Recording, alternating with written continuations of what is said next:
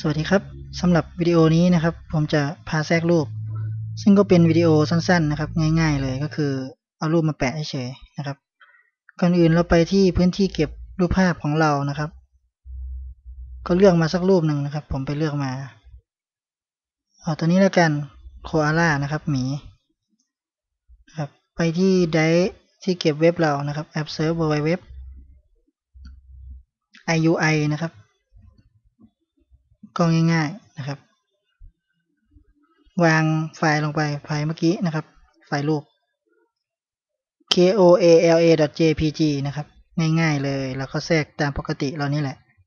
นะครับ new ไฟล์ขึ้นมาเป็น html นะครับ จากนั้นก็ตั้งชื่อ image กดปุ่ม finish ทำการก๊อปส่วนหัวมานะครับ copy แล้วก็วางลงไป จากนั้นนะครับเราเลื่อนลงมาอีกก๊อปตรง toolbar มานะครับก๊อปมาวางตรงนี้ จากนั้นตรง body ที่เราจะเขียนนะครับ ประกอบก็ใส่ div เข้าไป class panel ก็ได้นะครับ แต่ปกติก็จะไม่ใส่นะครับ อันนี้แล้วแต่นะครับ แต่ที่แน่ๆต้องใส่คือ selected เป็น true จากนั้นก็ img src เท่ากับ ครับชื่อรูปภาพก็คือ koala เมื่อกี้ อันแรกเลยอ่าเรียบร้อยนะครับกำหนดค่าความกว้างความยาวสักหน่อย 250 พิกเซลทดสอบการทำงานนะครับง่ายมากตัวอย่างนี้แค่แทรกธรรมดา image.html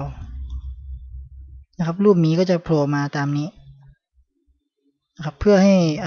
มีรูปแบบสวยงามหน่อยหนึ่งเราอาจจะ class panel ก็ได้นะครับ ให้มีสีพื้นหลังแบบนี้ โอเคนะครับ แทรกไปสองสามรูปก็ได้ ก็ copy ชุดเดิมวางนะครับแทรกไปหลายๆรูปเคสที่เราพับเข้ามานะครับ รูปมันก็จะเรียงลงไปเองให้เรา โดยที่เราไม่ต้องทำส่วนนี้นะครับ รูปมันก็จะเรียงให้เลย อันนี้มันขึ้นอยู่กับหน้าจอนะครับ ขึ้นอยู่กับหน้าจอมันจะจัดขนาดให้เอง แบบนี้นะครับเป็นอัตโนมัติ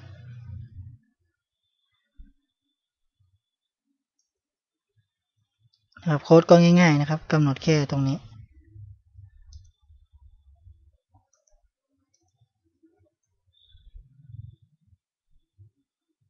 ครับ เป็นวิดีโอที่สั้นมากตัวนึงต่อไปนะครับจะมา control toolbar กันใส่ button เสริมอะไรต่างๆนะครับ ปรับแต่งเกี่ยวกับ toolbar ส่วนวิดีโอตัวนี้นะครับ เรื่องการแทรกรูปก็มีเพียงเท่านี้ พบกันอีกในวิดีโอถัดไปครับ